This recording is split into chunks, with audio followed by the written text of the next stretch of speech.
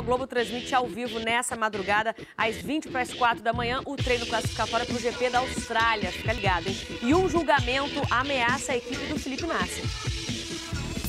A moda dos filmes ingleses, juízes de toga e peruca. Só que estes aí são australianos e julgavam um caso de verdade.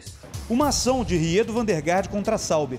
O holandês alegou ter um contrato para pilotar um dos carros da equipe suíça na temporada 2015 da Fórmula 1. O problema é que a Sauber também assinou com outros dois pilotos, o sueco Marcus Ericsson e o brasileiro Felipe Nasser. As duas primeiras decisões da justiça australiana foram contrárias à Sauber.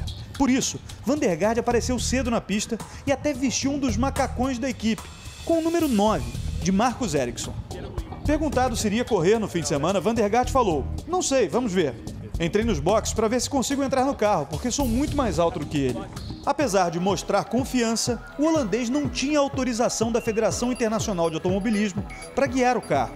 Ele precisava de uma superlicença para a temporada 2015, uma espécie de carteira de motorista dos pilotos de Fórmula 1, mas não tinha isso. A apreensão diminuiu ao meio-dia e 20 horário de Melbourne, 10 e 20 da noite de quinta-feira, horário de Brasília, quando Felipe Nasser entrou no carro número 12 da Sauber.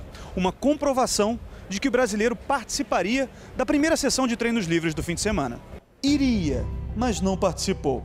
Nem Felipe Nasser, nem Marcus Ericsson e nem Van der Gaard. Àquela altura, a justiça australiana ameaçava apreender os carros da Sauber ou prender a chefe da equipe, Monisha Kaltenborn, caso os outros dois pilotos entrassem na pista. Felipe ficou 50 minutos dentro do carro, até desistir do primeiro treino.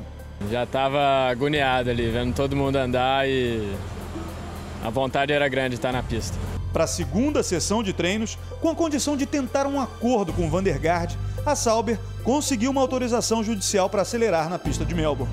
Marcos Ericsson teve problemas com a suspensão do carro, mas Felipe Nasser ficou com o 11º tempo do dia. Eu acho que ainda tenho muito aí para melhorar na pista, ainda estou me achando, mas é, mais um treino amanhã já vai ajudar muito. Foi uma sexta-feira confusa, mas ao menos Felipe Nasser conseguiu estrear como piloto titular da Fórmula 1. O que será do amanhã? Apenas os homens de preto poderão responder.